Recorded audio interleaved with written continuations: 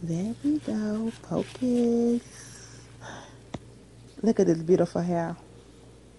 The luster is thebomb.com.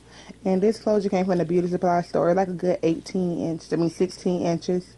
It could be 18 hair, but it's really long. It's really, really pretty. I mean, it's really, really soft. It's bounced back.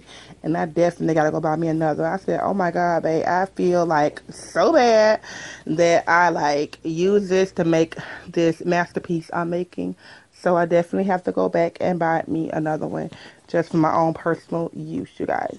So, but I will show you what type of hair I am using. It is virgin hair. And um, I will show you the packet when I finish my hairdo.